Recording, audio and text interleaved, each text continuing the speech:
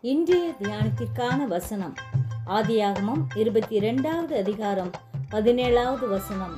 நான் உன்னை ஆசீர்வதிக்கவே ஆசீர்வதித்து உன் சந்ததியை வானத்து நட்சத்திரங்களைப் போலவும் கடற்கரை மணலைப் போலவும் பெருகவே பெருக பண்ணுவேன்.